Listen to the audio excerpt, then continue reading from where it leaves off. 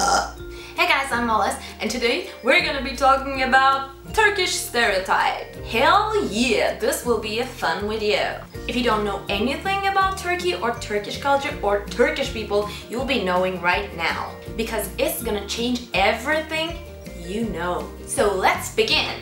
One, like our moms don't allow us to, you know, go inside with the um, shoes because it's, you know, rude and dirty and stuff. So you have to put your shoes outside or just they're like in the entrance. And they're always so mad when you go inside with your shoes. And they're all gonna be like, what the hell are you doing?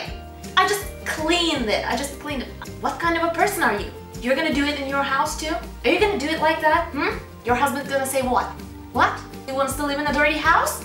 But everything's gonna be changed when your neighbors or a guest come to your house. She's gonna be like, oh my god, hello, oh, just just don't, don't, please, please just don't. Come with your shoes. It's, it's dirty anyway. I, I'll clean it tomorrow, so please, please just don't. Don't, don't, don't, don't, don't. Please go with your shoes. No, no, no, no, no, please, please no, no, no, no. Come inside, come inside, like, you take your shoes off. And we are like, what the two if you're walking down the street like you see like birds all over the place I'll go like this because I, I'm scared like some of them are gonna pee on me or gonna shit on me or something like that. You're thinking like that. But Turkish people don't think like that. They just you know walk on the street like and then some bird come and then and I know you all like oh my god that's disgusting. But Turkish people like oh my god, I'm so lucky. You see this, I have to take a lottery. Yeah, I don't know why, but Turkish people thinks that, you know, a bird shit on you means a good luck. So you have to go and buy a lottery because you're gonna be the next millionaire. Three. Turkish people, you know, really seriously thinks about like the hospitality. You have to give something to your guests and they have to eat it because if they don't, Oh my god, please, please, please have it, please. You have to, I'm, gonna be opening this. Okay, okay. I know you want this. Okay, please, please, I just bought for you, okay? Take it, take it. You want more? You just want more. You don't like it? I'm, I'm gonna be, I'm gonna grab some more. I know you don't like it.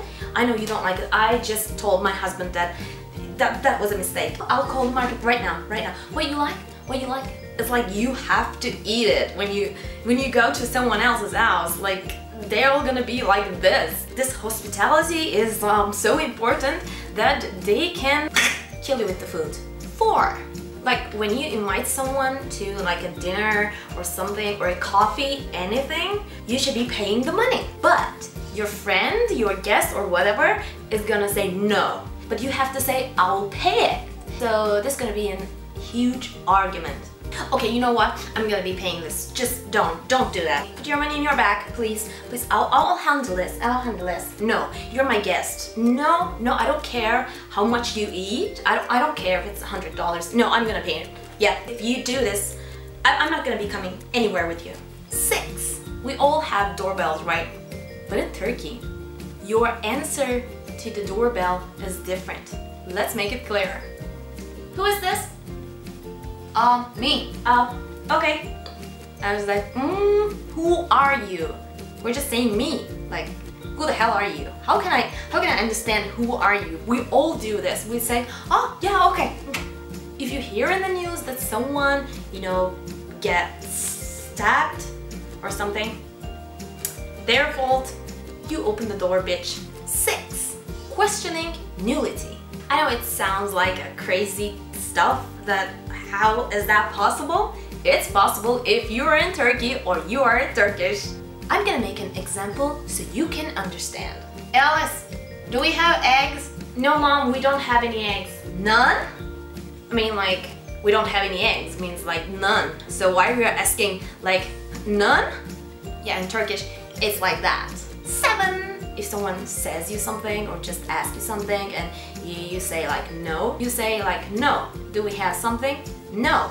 Are you coming? No. But we're not like that. We don't use that word like no.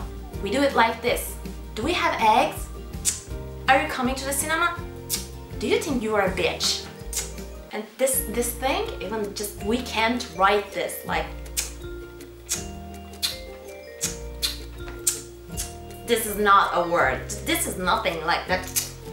You can say just no, but no, no, no, no, no, no, no. No, we can't do this. We don't know that word. We say, I don't know. I don't know what kind of people we are. So we have got like more stereotypes, but I won't be giving it to you. So if you like it, please go and thumbs up and subscribe. So I'll be making the second part of the Turkish stereotypes. If you think we're interesting or weird, just you don't know anything about us. I know you don't know this stuff. That's all for today. I'm, I love making these videos. So please help. Just, you know. Where's my cat? Bye. This is the way we make videos. Hmm. Hmm. Marky.